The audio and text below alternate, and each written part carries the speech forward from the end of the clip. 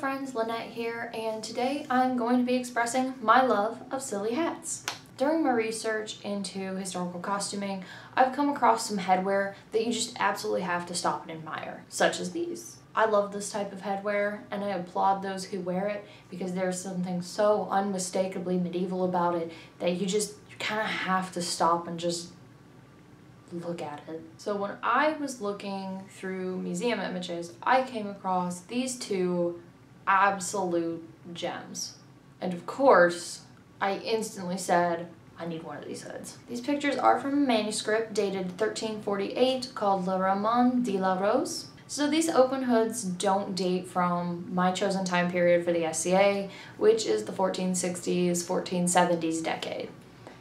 But I have a mighty need because they are so beautiful and silly. For this project, I'm using the last of my black cotton flannel, and I'm gonna line it with some stiff green linen. It doesn't appear to be lined in the original image, however, the black cotton flannel isn't going to be strong enough to support that curlicue, and that is something I 100% need because that is what makes this hood silly.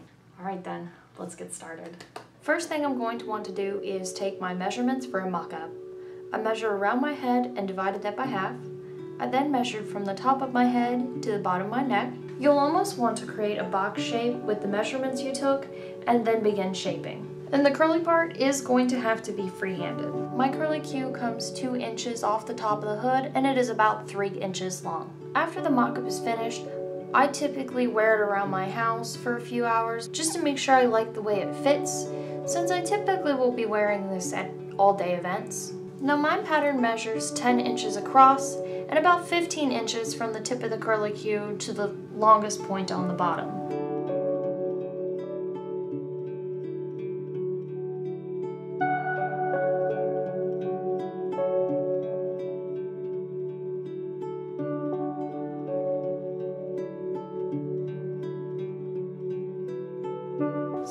Really don't need much fabric to complete this. When originally cutting this, I left a larger seam allowance of just under half an inch. As I'd originally planned on flat felling this, you can even do a seam allowance as small as a fourth of an inch. Just in case you're curious, cutting the curly part isn't fun. I then use my cut piece as a guide for my liner so the seam allowances match up.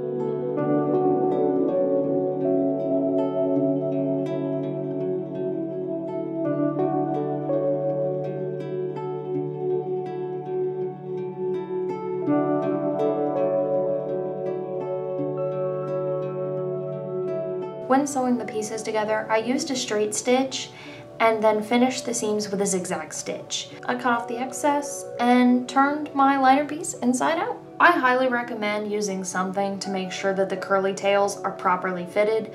A crochet hook or a chopstick will work just fine. Once I had it properly fitted, I pinned the curly tail so it wouldn't wiggle around so much. I did not want that liner moving out of there at all. I then folded over the edge of the shell and used a running stitch to hold it down.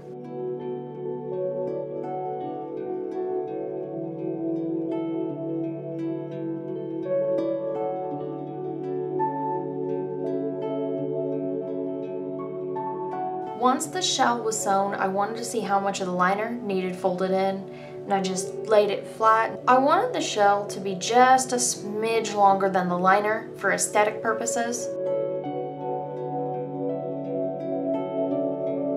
So I also ended up pinning the pieces together along the seam as the fabric at this point was actively fighting me. So this is off camera, but I did iron the hood so it would lay flatter and be more cooperative, and I found it much easier to pin the edges with the hood flipped inside out.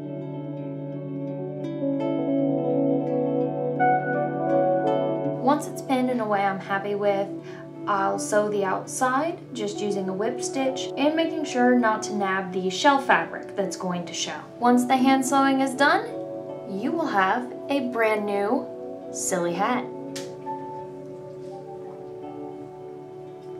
It's beautiful. I am so happy.